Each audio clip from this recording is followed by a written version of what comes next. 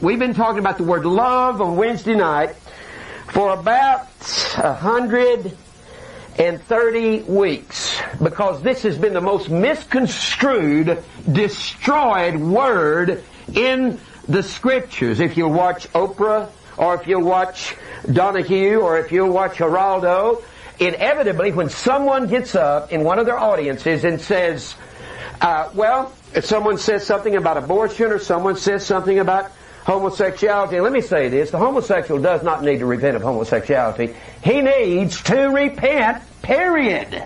If he just repents of homosexuality, he's going to have all those other sins in his life. And we don't need to repent just of one sin. We need repentance in our lives, and that means to turn away from self to God. And repent means to turn from self and to be obedient to the Word of God. The word repent is the word metanoia. I don't know how I got in this. Meta, N-O-I-A, metanoia, and it means to be turned around and go another direction. You're going away from God. God turns you around, and Jeremiah said, Lord, if you turn me, I will be turned, and that's the only way I will turn. And after you're turned, there's three things will happen. You'll be ashamed.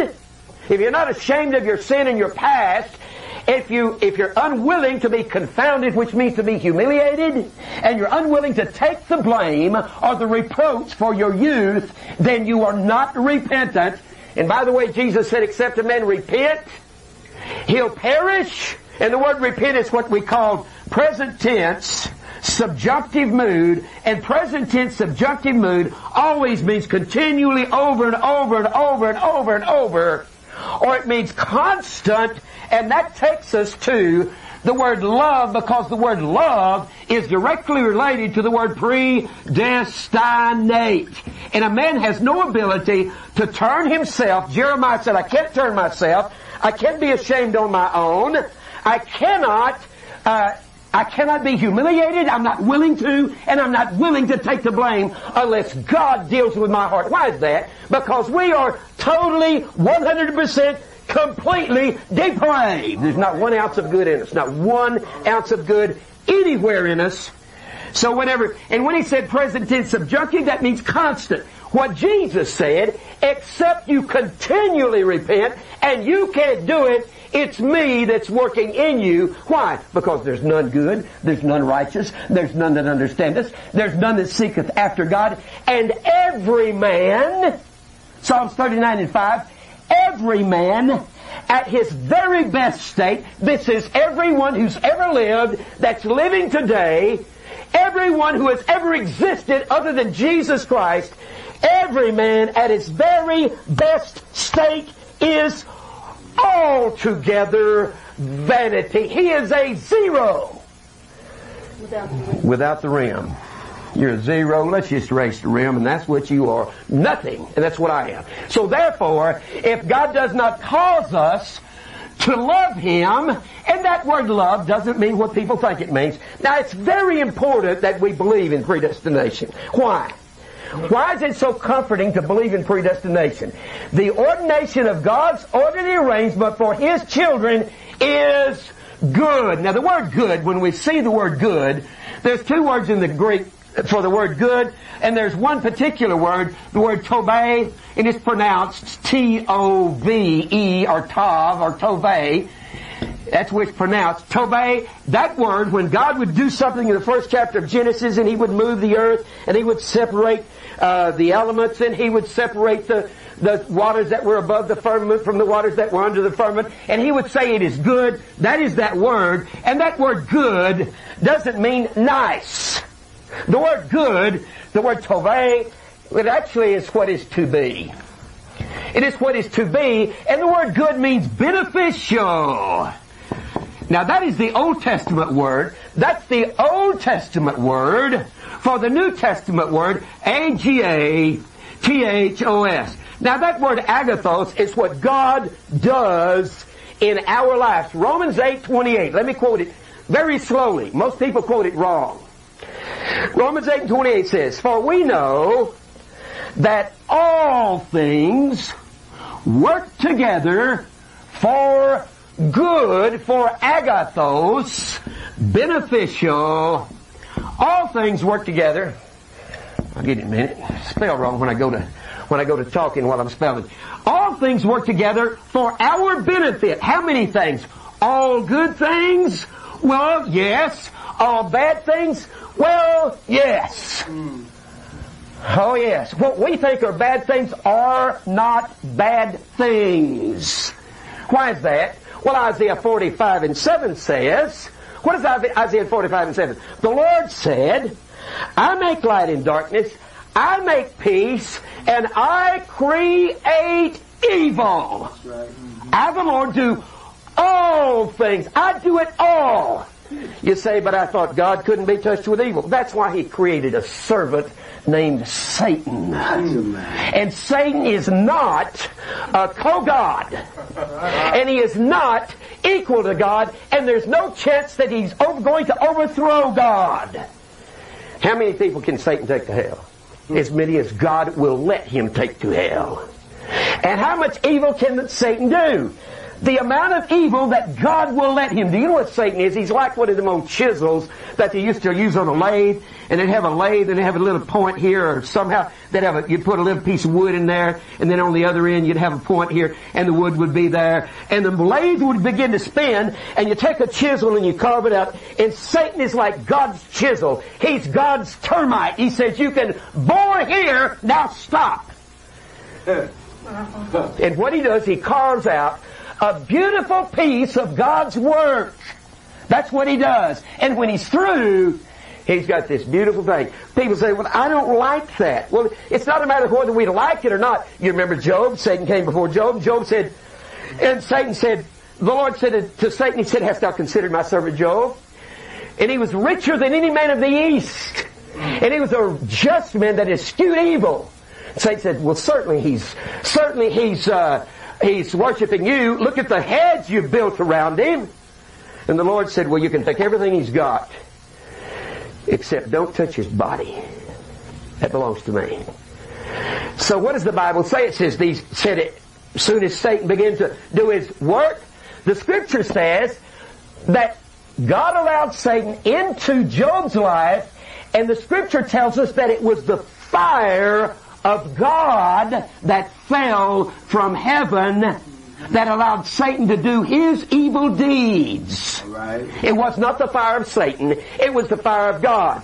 And as one servant would come and say, uh, your, your men were over there uh, taking care of your camels and your sheep, and the Sabeans came in and fell upon them and took them all away and slew all your servants, and I only am left alone to tell thee. And then he would go on down the road and he would say, uh, your servants were over here doing these things, and and uh, some thieves would come in and run off with them, and he'd say, I'm alone left to tell thee. And while this was in his mouth, he said a great wind came and blew up on the house where your children were and killed your seven sons and three daughters. Yes, and then what happened? Job said, naked came out from my mother's womb. And he said, I'll return naked to the ground with nothing. He said, the Lord giveth and the Lord taketh away. Blessed be the name, the Shem of the Lord. That word Shem is the word name and it means authority. And God's authority is His commandment. And what does the next verse say? People say Job was out of his mind. No, he was not. God said in the very next verse, He said, in all this, Job sinned not with his lips nor charged God foolishly. All right. Now God said, you're right. I killed your sons and daughters. And Job said, blessed be the authority of God that slew my children and took all of my substance because God knows what he's doing in the next chapter. Satan said, well, you still got his body. Let me have his body. God said, you can touch his body, but you can't have his life. So Satan went and struck Job from the crown of his head to the toe of his feet. And his wife came and said, why don't you curse God and die? She didn't say, why don't you curse Satan? She said, God did this to you. And what did Job's answer to her? He said, woman, you speak like one of the foolish women speaketh. Shall we receive good and shall we not receive evil at the hand of the Lord? And the next sentence says, in all this Job sinned not with his lips God said, let me verify that statement. Job did not sin nor charge me with something I didn't do. Satan is God's devil. He's God's servant. And the only thing he can do is what God lets him do.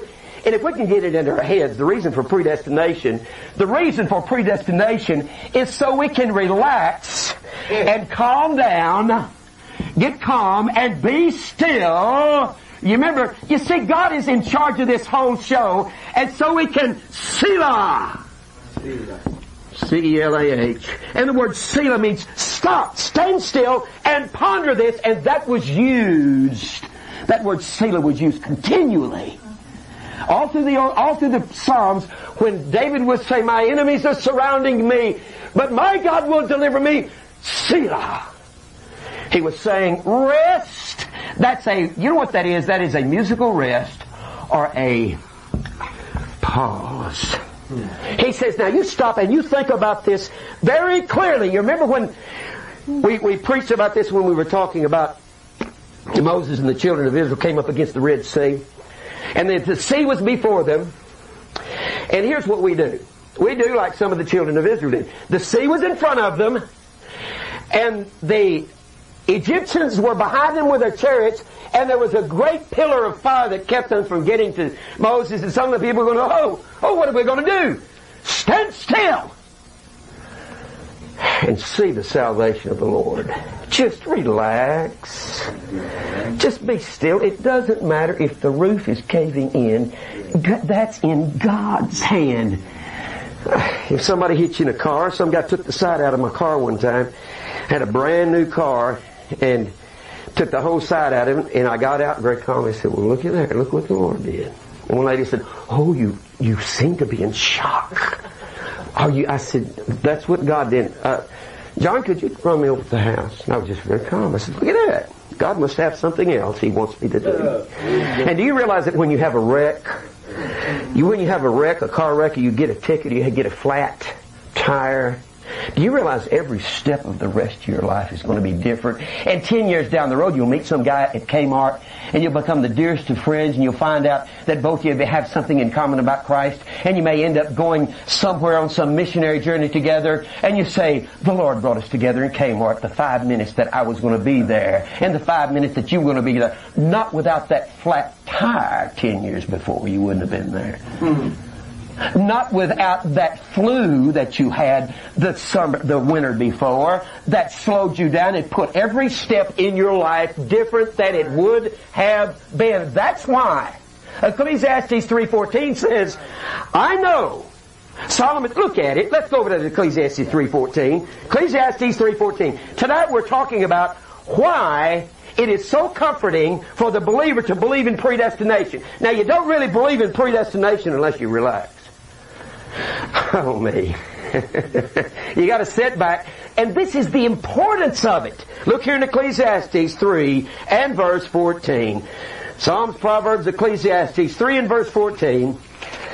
This is one of my favorite verses. I know. This is Solomon speaking. He says, I know that whatsoever God doeth, it shall be forever. Now everything that God is doing is forever. Now let me show you on the board. Forever did not mean to the Hebrew mind what it means to us. What it means to us is from now on. That is not the word forever to the Hebrew. The word, the, the word forever is the word everlasting. In the Greek, it's the word forever. It is the word world without end. Now in the Hebrew, it's the word O-W-L-A-M. And in the Greek, it's the word A-I-O-N.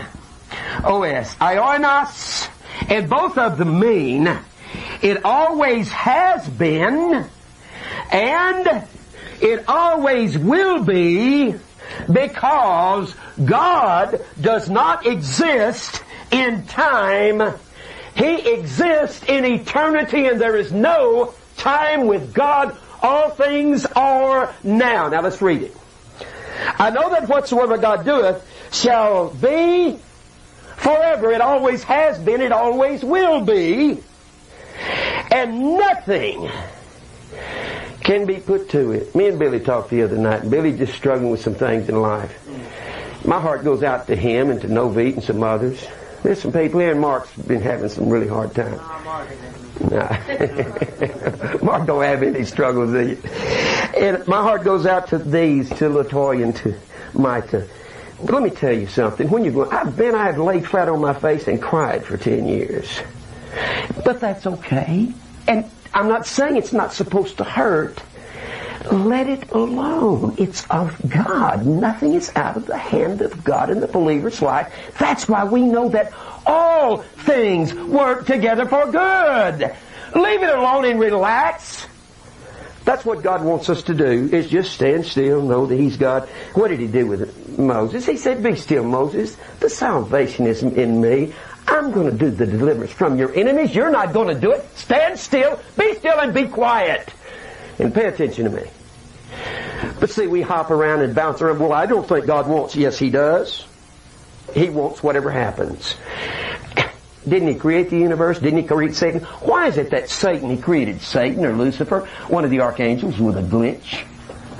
And why is it that he didn't create Michael or Gabriel with a glitch? Why is it they're going to be here eternally? Why is it Satan had a defect and he fell? Because God created him that way and he wanted him to fall. He has a purpose. Now look here. Now look here. Could God have made him perfect? Couldn't he have just made all of us perfect in the beginning? Why did he do that? What if God, willing to show his wrath and make his power known, he endured with much long suffering the vessels of wrath fitted to destruction, and that he might make known upon the vessels of mercy his glory? And he's afore prepared us unto glory. He is afore prepared proetoimazo. He has fitted us up in advance. He has pre-prepared us. That's what that word proetoimazo means. It means to fit up beforehand. Now look here, he says, I know that whatsoever God doeth, it shall be forever. Nothing can be put to it. You can't add anything to it. You can't pray and get a job. You can't pray that cancer will go away. Why? That ain't prayer. No, no. That ain't prayer. Now, the word, now prayer, the New Testament words of the word prayer is the word P-R-O-S-E-U-C-H-O-M-A-I. That word pro, proseuchomai, it comes from pros, meaning forward, forward, and the word E-U-C-H-E, and that word E-U-C-H-E means to will. That means to will oneself forward. We don't know how to pray. Do we? No, we don't. We don't even know what. Didn't Paul say in Romans 8, we know not what to pray for as we ought? And didn't Jesus say in the sixth chapter of Matthew, I know what things you have need of before ye ask. Ask is a legal word. That was a legal word. It is the word A-I-T-E-O. I-T-O. Now, Mr. Thayer tells us in his, uh, let me read you. I wrote the definition from Thayer's up in the front of my Bible. Thayer says that asking, he said it, it is, we do not ask for things. What we ask for is the will of God. Mr. Thayer says it's to signify to ask for something to be given, not done, giving prominence to the thing asked for. Now, it's not literal things that we ask for, and I'll show you in a moment. Rather, than the person, and hence is rarely used in exhortation. It's very seldom used in comforting someone. Mm. Mm. The use of the word may and therefore be viewed as having relation to the manner and the cast of the request, namely, when carrying a certain freedom of aim and bearing. Now here is where the, here's where the character comes from. 1 John 3 and 22. He tells us how you get what you ask. We receive the things that we ask if we do two things. Keep His commandments. Keep His commandments. And do those things, do those things, things that are pleasing that are pleasing in His sight. Now how do we keep His commandments? All of the law is fulfilled in one word, even in this. Thou shalt love thy neighbor as thyself, and it is this word, A-G-A-P-E. Now it is not the word P-H-I-L-E-O. These, these are the two common words in the New Testament for the word love. The word phileo, we get the word philia from that, P-H-I-L-I-A. That is the word friend. And then we get from that, we get the word P-H-I-L-O-S. That means to be, to be fond of. And he did not use any of those words when he said, love your neighbors yourself. He used the word agape. Agape is an ancient word that predates Christ. Some of the writers, Mr. Kittel tells us it predates Christ approximately 2,000, 2,500 years. They don't know exactly where it started, but they do know that agape means it's the relationship between a king and his subjects or between a husband and his wife. Now, if you love your wife, you'll do things for her. If you love your husband, you'll do things for him. I told Mike the other day, I said, don't wash the dishes because I've been a, I, because uh, Mary jumps all over and tells me you got to wash the dishes. Washing dishes is not woman's work. I don't know if anybody thinks that or not. I'm the dishwasher in this house. I am self-appointed. I am the vacuumer upstairs. I'm self-appointed. And if I love my wife, I will help her and I will do the things that will take, I'll do the things that will take the pressure off of her. And if you love the king, you will keep his commandments. Now, that relationship between a king and his commandments had to do the king wouldn't give the wouldn't give the people commandments that were too grievous that he, they, they could not bear, and that's why he says over there in 1 John two and three that that to that when we love Christ that we walk in His commandments, and His commandments are not grievous, and the word grievous is the word baros, and it means they are not heavy. They are easy to bear. Why? Because we understand predestination and the ordination of God, and we keep His commandments. What are His commandments? His law. His law. That's right. The law wasn't nailed to the cross with Christ. Oh, nomos is the word law. All the law is fulfilled in agape. We walk in the commandments of God. The law was not done away with. Only the handwriting of ordinances. Only the rituals of the law. Now we're Jews of the heart. We're circumcised with the circumcision made without hands. We are a spiritual priesthood offering up spiritual sacrifice. We're kings and priests. We're the house of God. The house of God was the Holy of Holies and that's where he came down and dwelt between the cherubim. The word dwelt means to house. We've talked about how we're the veil of the temple. The veil was his flesh. We enter in by a new and living hodos. The word hodos is the word way, the new and living way. Jesus said, I am the way. And he said, I am the hodos. No man comes to the Father but by me. This one hodos. And he said, narrow is the hodos. And the word narrow is the word thelibo, T-H-L-I-B-O. And that means pressure, tribulation. And Paul said we must, through much thelibo, enter into the kingdom of God. So we enter into, we enter into the holiest by a new and living hodos, by Christ. That's how we enter in. And he said, we enter in through the veil, that is to say, his flesh. In John the sixth chapter, starting about the 51st verse, he said, his flesh is the bread. Mm. The bread is the body. The body is the church. And the bread is the church too. Paul said, we being many are one bread. So we're the veil, we're the temple, we're the candlesticks in Revelation 1 and 20. We are the, the showbread. We're the pierced bread. That, that showbread was called the bread of the orderly arrangement.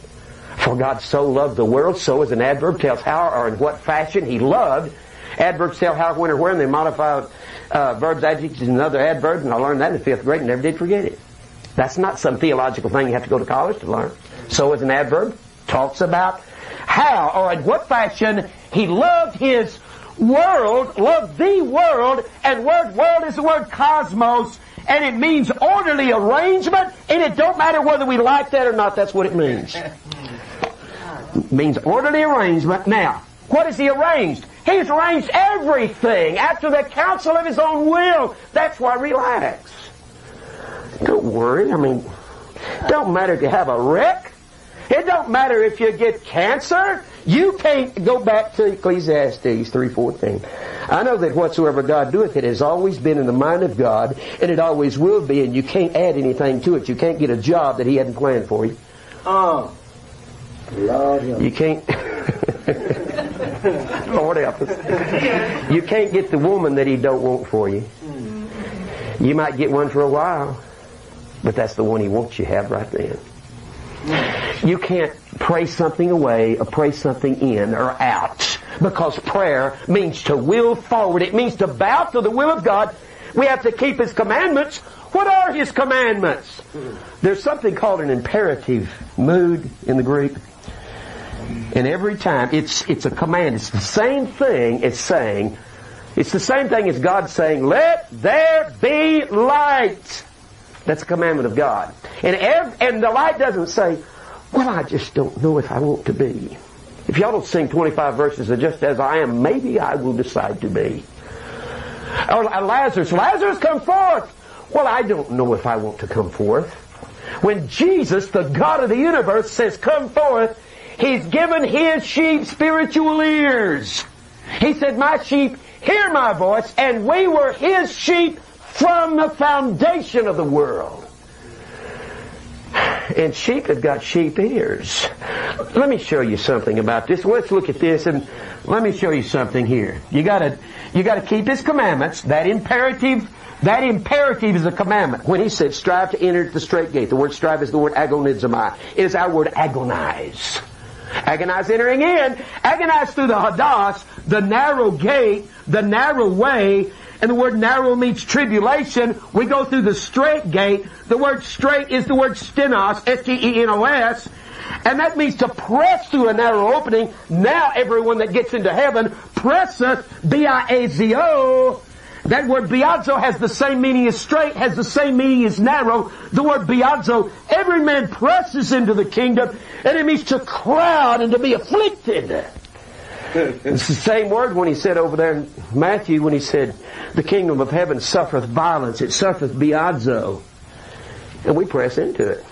And we violently get violent with ourselves.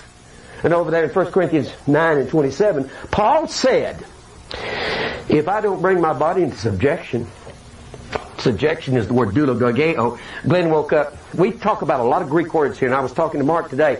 I said, if you keep coming, I'll pound these Greek words at you till you get a hold of them. Glenn woke up one day, our, our producer back here, runs the camera and sells the shows and sells the TV, and he woke up one day and he called me and said, what's?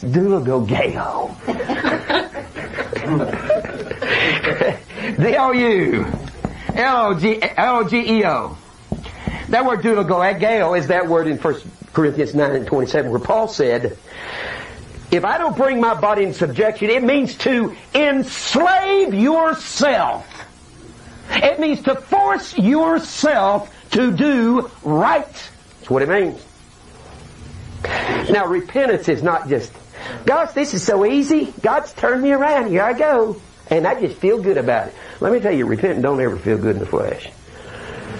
It does not feel good. I asked Eric, my son Eric's 26, and I said, Eric, have you thought repentance is something God will rain down on you one day and you'll say, gosh, I want to give up sin. I don't want to do it no more. He said, yeah. I said, no, that ain't what it is. It's God dealing with your heart till you know you have to do right even though you'd rather still do wrong. Mm-hmm. You still want to do wrong. You still want to sin. You say, I must behave myself. I must quit playing. I must quit seeking myself. I must, I've got to enslave myself. Otherwise, he said, you are a, what, what did he say he was? Somebody tell me. Castaway. Castaway. What is that word? Adokimas. Adokimas. A-D-O-K-I. I told you you'd learn these, Mark, if you come. Uh, dokimas, it comes from dokimazo. Dokimazo is the word try, trial. It's the fire, it's the fiery trial, and when you place the alpha, it's called the alpha privative in the Greek. You place the alpha in front of it, it, it negates the word, gives you a, a totally opposite meaning. It means worthless. Same word. Thank you, Glenn. Reprobate. Same word, reprobate. It means worthless. And what's another word for worthless? Somebody tell me. Yeah. And what is what is that word? Kokos. Kokos. K K? And that means worthless. You are evil if you don't do you're evil if you don't do the will of God and force yourself to behave yourself and do right. Well, I thought you said only God can turn you. Let me tell you what. Only God can put that little seed in your heart that makes you want and force you to say, I'd rather do this, but let me turn the TV off and quit watching the evening movie and let me read my Bible. And let me get bored a while till I get into it. Huh? Hello. What's that? That gets hold of me. It's forcing yourself to do what you'd rather, when you'd rather be doing something else. You know what that is? Faith. That's what it is. That's faith. That's death to self. Turning from your own. It's turning for your own desires and saying, God, I must now. We got to do those things that are pleasing in His sight. Pleasing. What is well pleasing to God? Can somebody tell me what that is?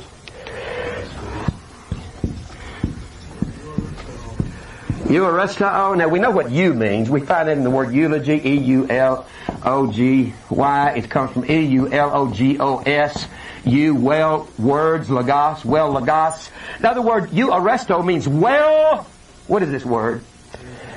Pleasing. And where do we find that? Romans 12, Romans 12, 1. 12 and 1. I beseech you therefore, brethren, by the mercies of God, that you present your bodies a living sacrifice, holy, acceptable, well pleasing, acceptable. Now we must give our bodies a living sacrifice, well pleasing. Where do we give this sacrifice? How do we do it? Let me put it that way. We die. What do you use for dying? Huh? That's it. Yeah. Thank you, Glenn. The cross. Well, let's go back. Let me show you something. When you bring your body into subjection, what you're doing is obeying the Word of God. Now, I was raised in an independent Baptist preacher's home, and I heard a million times, for by grace you are saved through faith, and that not of yourselves, it is the gift of God, not of works, lest any man should boast. Well, that's a wonderful, wonderful word. And grace is unmerited favor. It's the word charis, C-H-A-R-I-S, C-H-A-R-I-S. And we get the word C-H-A-R-A from that, and that's the word joy, joy. And grace is, uh, is, this is grace. And the word C-H-A-I-R-O comes from that, and the Bible says if some, if anybody brings any other doctrine, the doctrine of Christ, don't bid them Godspeed. That's that word caro over there in 2 John, uh, 10 through 12. And if you bid them Godspeed, you're a partaker of their evil deeds. And that word caro means, what does it mean? Godspeed. Cheerful. Cheerful, yeah. Don't be cheerful to them. Don't be joyful to them. Don't be gracious to them if they don't bring God's doctrine of death to self. Do not. We're not supposed to be nice to people. That's not true. Nice is the word niskir. It means no knowledge. And David that called me last night, he said, and he said, I went to such and such a church and the preacher, and the preacher was real nice and I said, nice, that's the word niskir. He said, oh yeah, you're the one that I heard say that. Yeah, niskir, he said, I went to my dictionary and looked it up and it said ignorant. Yeah. That's what it means. It means, nay, S-C-E-R-E. It's a French word. It means no knowledge. This is the word science. Science. You find in the, in the New Testament it's the word G-N-O-S-I-S, gnosis. Scientific things have some exact knowledge to it. Knowledge. And my people are destroyed because of a lack of knowledge. And when you act nice, you act dumb, you act ignorant, and you are a hypocrite. Let me tell you what, everybody knows the truth that has an IQ, an average IQ or above. The only way you can literally be nice is by having an IQ of about 60 and be a mongoloid. And there's nothing wrong with that. Nothing wrong with that at all. But if you act nice and you act dumb, you're in trouble with God. Don't you be, we can't be cheerful to people who act dumb and say, gosh, I don't know. You say parents say their kids? Yeah, the kid, don't the parents say act nice? Don't let people know how you really Yeah, don't know, don't let people know how you are, really are. Now we're talking about faith. For by grace you are saved through faith. That not of yourselves, it is the gift of God. Grace, the gracious gift of God is faith. And we're saved through, and the word through is the word dia, dia. And the word dia means a channel. What if I said a way? Way? And it's like, it is a channel, it's like a tunnel that you go into and you can't back up. And you have to stay in it because once you get into it, God requires it of all of His people. And you have to stay dying. Now faith is directly related to the word predestinate. Of course the word predestinate is the word pro, O-R-I-Z-O. Pro meaning before, and orizo is the word is the Jewish word for our word H-O-R-I-Z-O-N. He has pre-horizoned us to walk in the kingdom of light, to walk in the light, because the horizon is Horus. Horus is an ancient word for the sun. He has pre-sun zoned us, and that's a Latin word, horizon. The Jewish word was horizo, and it means he's pre-lightened us. What's the light? It's called truth. And truth is not something you merely assent to. You do, but you don't have any ability to do it. How you going to do it? If God don't lighten you, if He don't plant the seed which is Christ in your heart, you don't have any ability to do right, not before you come to Christ and not after. Now predestination is not fatalism. We are predestinated to conform to the image of His Son. The word conform is the word sumorphos, S-U-M, M-O-R, P-H-O-S. We get the word morphosis from that. It means to be fashioned or shaped. A metamorphosis. When a grasshopper goes through a metamorphosis or a caterpillar, it turns from a caterpillar into a butterfly. Now we don't turn into spiritual beings. We're birthed inner, inside. And He insists that these bodies walk righteously and be like Christ that we live in. That's called obedience. That's called faith. We are elected, 1 Peter 1 and 2, we are elect unto obedience. And you know what that is? Faith. Remember Ephesians 2 8? By grace you are saved through faith, through the channel of faith. Through faith, and that not of yourselves, it is the gift of God. You remember over there in Philippians Philippians 1.29, unto you it is given in the behalf of Christ not only to believe upon Him, but also to suffer for His sake. What is that suffering? It's that hodos we go through. It is that biazo, that pressing into that pressing into the kingdom. It's the hodos, the way, Jesus, and that way is narrow. And Paul said, that's the word thalibo, and Paul said after he was stoned and left for dead outside of Lystra, we must through much thalibo. Much tribulation enter into the kingdom of God. Now that thalibo, that was a severe whipping. Now how does he make us do that? I said this, was that you I said to today? I don't know who it was. Ephesians 1 and 4. He hath chosen us in him before the foundation of the world that we should be holy. He didn't just choose us to get in the gate of heaven. Nobody has any ability to do good and do right. He didn't choose us just to get in and be a fatal predestinationist. We don't believe predestination quite like anybody else. We believe it for what it is. That we should be hagios. Yes, that we should be hagios. but can y'all tell he's been around here a long time? He sits there and there makes tapes night and day. He has to make all these tapes and he's, his stuff is banging Glenn's brains out. Now, hagios, he's predestined us to be H-A-G-I-O-S. And the word hallowed, the word hallowed is the same word as sanctify.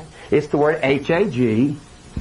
I-A-Z-O. It is the verb form. Think of sanctify is the verb form of holy.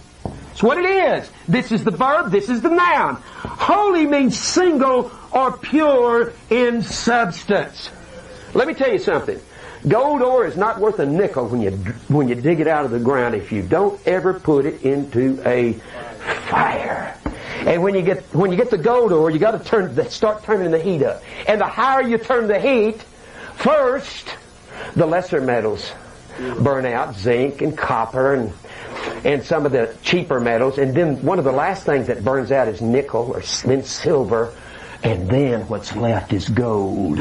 And the best, best metallurgists tell us that gold can't even be scorched. The hotter you get the gold, the purer it gets, and the softer it gets, and the more malleable it becomes.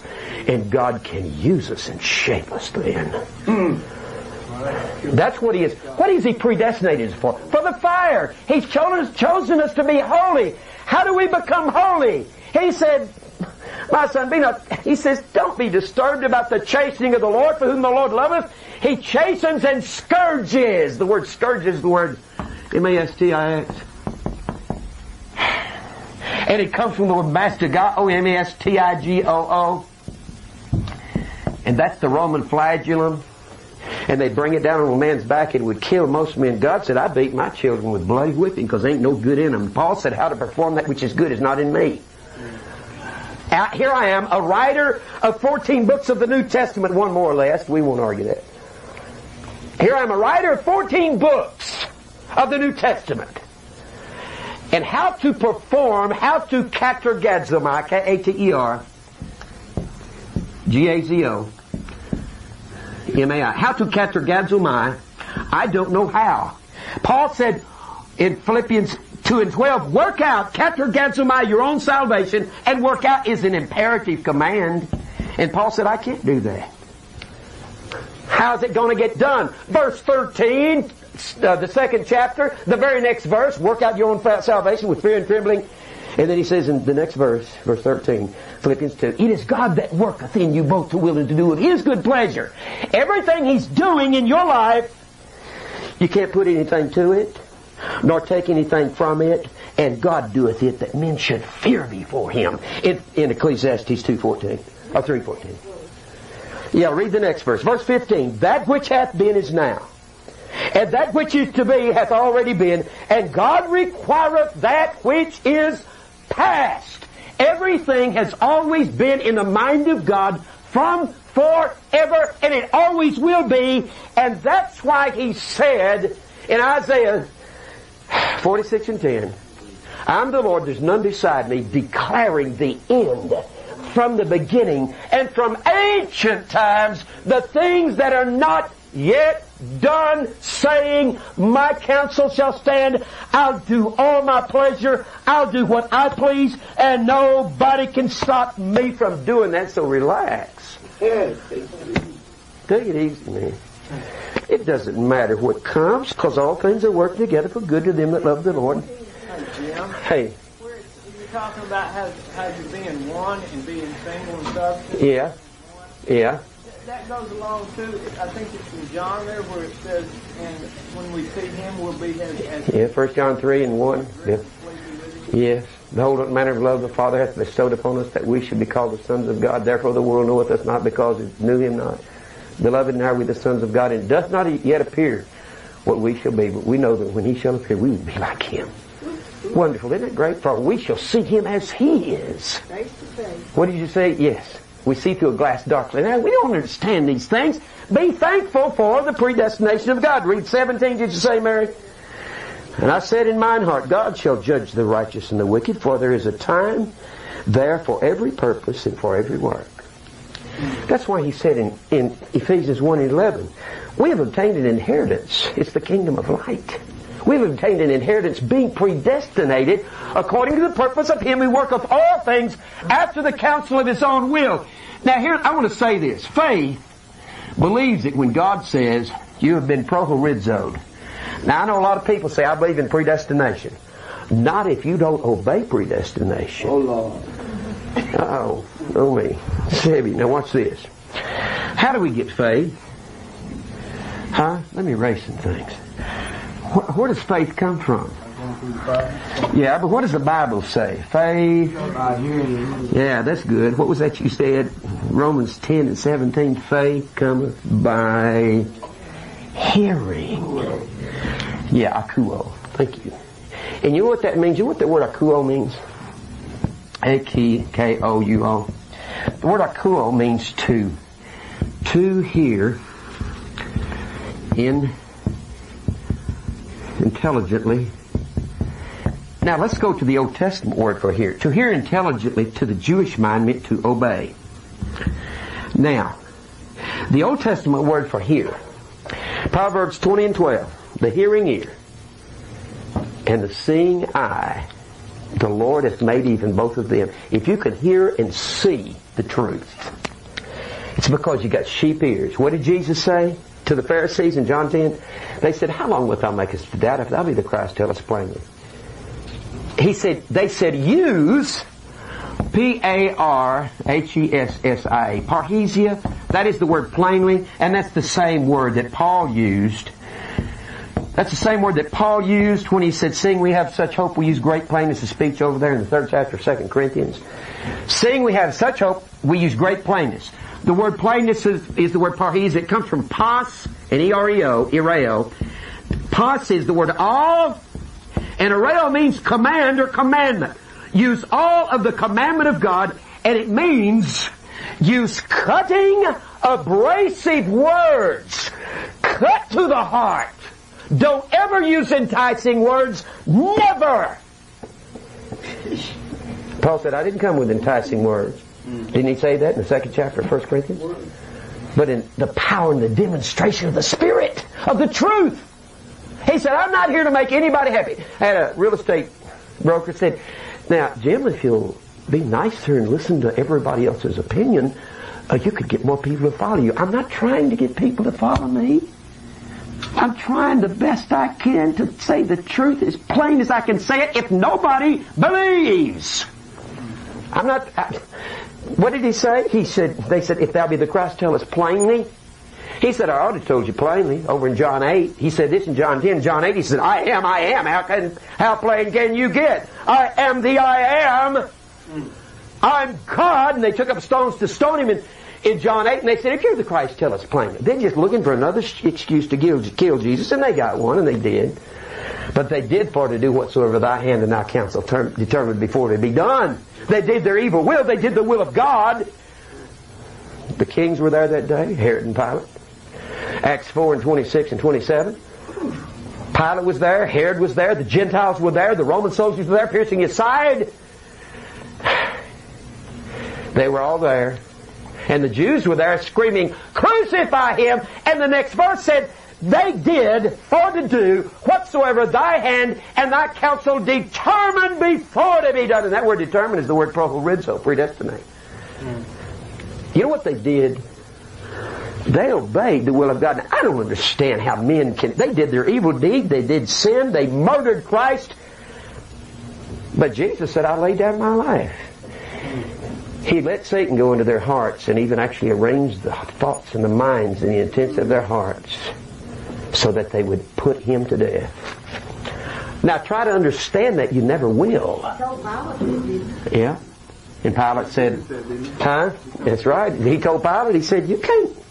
Pilate said, don't you know I have the power to release you? Jesus said, you don't have any power except it's given to you of my Father which in heaven. You have no power. And he sought from that day forth to release him, but he couldn't. Then Jesus goes on to say, he said, I've told you plainly. He said, you will not believe because you're not of my sheep. My sheep hear my voice. Hear. Hear. They hear my voice and they know me and they follow me and I give my sheep eternal life and I don't give goats eternal life and turn them into sheep. This is not a biologi- biological miracle. Now what he was saying when he said, my sheep hear, S-H-A-M-A. That is the, that is the Old Testament word for here. And by the way, it is also the Old Testament word for H-E-A-R-K.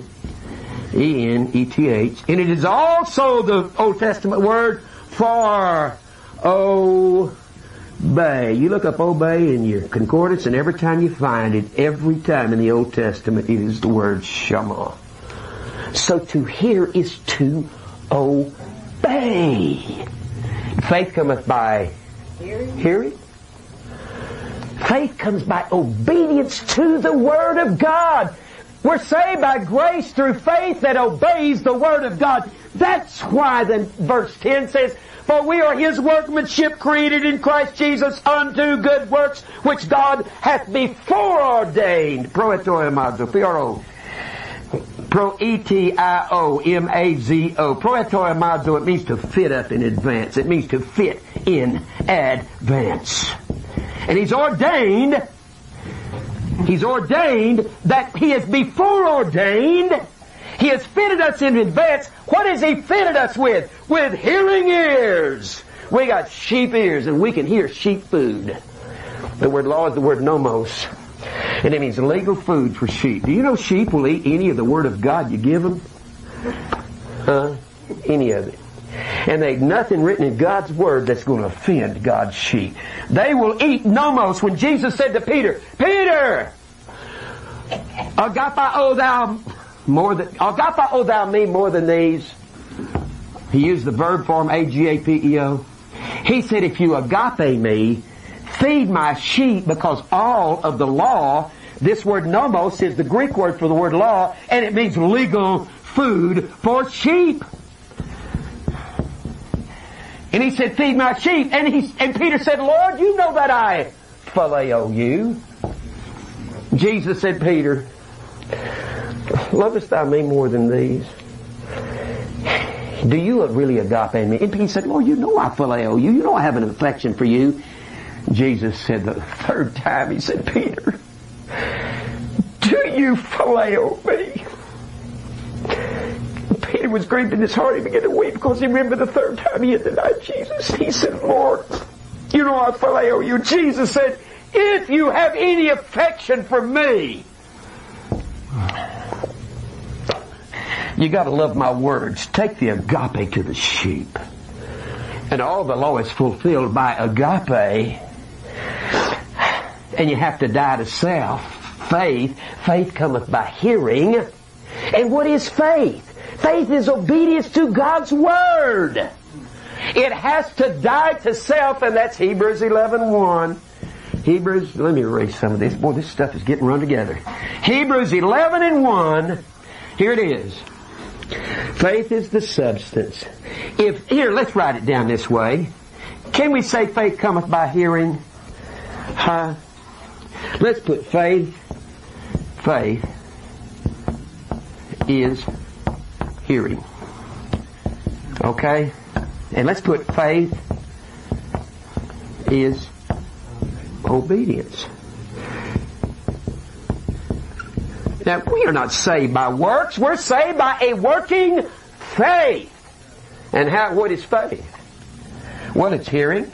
It's obedience. It comes by hearing. You gotta have sheep ears to hear. You don't have goat ears and you turned into a sheep. Faith in Hebrews 11.1. Here is the definition for faith throughout the scriptures. Even the old, even the old scholars will tell you, this is it right here. Right here. Faith is substance and faith, let me put a little space there, put a little space between these, and faith, faith is evidence. And what is the word substance? Thank you. It's T-A-S-I-S. And what does that mean? Under. Under or through? Under or through? Now here it is. Now Fred Price's substance means stuff. Fred Price has got rocks in his head. He needs to define the Bible. He needs to define the Word of God. That's what Kenneth Copeland says. He says, he says substance, well, I, heard Fred Price say one night, he said, substance, that's cars and Cadillacs and steaks and gold and money and stuff. No, it's not, Freddie. Pay attention. I can't believe these people. Under or through the stasis. Stasis, oh me. S-T-A-S-I-S. Let me show you something here. Stasis, we get the word sta-o. Oh. We get the word, I'm going to have to move this. Let's put evidence somewhere else, okay? We got the word stao, oh. H-I-S-T-E-M-I. You got the word S-T-A-U-R-O-O. These are all derivations of this word. These two right here are the, actually the same word, and I'll show you. Then you've got the word S-T-A, or S-T-A, wait a minute, S-T-A-U-R-A-O-S, staros, now. And let me give you this. I haven't put this one in here. S-T-E-R-E-O. Okay? that looks like stereo, but it's stereo. And we got some other words that goes with it. These are all derivations, same same word. This word stao, what does that mean? Stand. What's the word histome? Y'all tell me. Histome?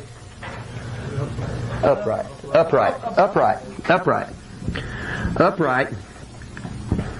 Now, for several hundred years before Jesus was born, a daily expression back then would say that man is upright. He stands for what he believes. He's an upright man. It meant he was honest. It meant that he would, that he was martus, martyr. We get the word witness from the word martus, M-A-R-T-U-S. And that comes from M-A-R-T-Y-R, and that's the word witness. And Ricky Skaggs got on TV and said, silent witness. How in the world can you be a silent witness? Look over and said, that guy is silent and he looks like a Christian. Let's go kill him. No. Jesus died for his words. Paul died for his words. Peter died for his words. James died for his words. All the prophets died for their words. The apostles died for their words. And even the fathers of the church said that John, after he was after he got through his exile on Patmos, that they killed him eventually. We didn't know that, did we? Now the word sterah, what's that?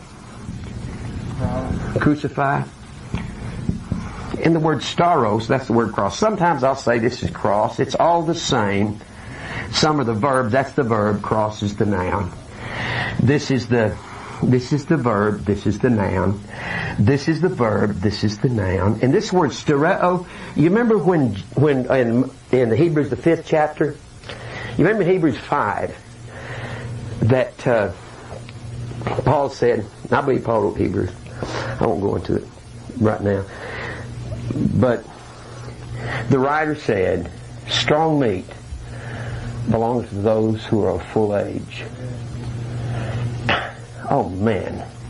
In the word full age, we get into the word teleos, teleates, which is the word perfection, which means to be completed. And he that hath begun a good work in you will perform it until the day of Jesus Christ. He's going to complete his people. And that word stereo is the word strong meat. You can't eat steak until you grow up. And that's why he said some of you need to go back and be put on milk and you cannot have crucifying me. The ability to die and to stand upright and to crucify self and to take your cross daily. And Jesus said, if you don't take your cross, you cannot be my disciple. Let me tell you, they may not be, they, this nation is going to have a very few Christians. They, I don't hear this, I don't even hear this being preached. You gotta die to get to heaven. That's called faith. You gotta die to self and believe God. You gotta obey predestination. Predestination, prohorizo, pre-lightened, predetermined that one walk in the light. And how many times have I given us these words? Gosh. Horizo comes from the word Horion. That means to bound. And every time you find the word coast or coast, talking about the coast of Judea, our coast of the United States is it's the Atlantic, the Pacific. Uh, Old Man Kelsey's Creek, Old Man Kelsey's Woods. I just had to say it. As Ernest T. Bass. oh man, great. Uh, yeah. Uh, no, no, our uh, our uh, our coast is Atlantic, Pacific, Canada, Mexico, Gulf. That's our horos, limit, boundary line. That comes from the word. That comes from the word herkos, means to take an oath to, and you have to take an oath to the United States to live by their laws. You got to pay your taxes. You can't go speeding down the road. If you do, you get a ticket. You can't kill somebody. You go to jail. all these come from the word horizo. You get the word herkos or horos. Or herkos means to fence in or limit. And we have to, we're limited. We're fenced into the United States, what we can do. And all these words, herkos, horos, horion, horos, they come from that word. Well, the word herkos means to fence in.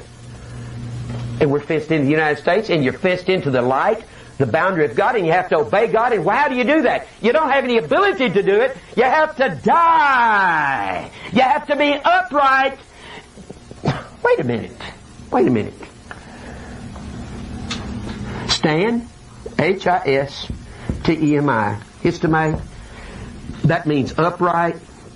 The Old Testament equivalent of that word is T-A-M-I-Y-M, Tomim, and that word, what does that mean?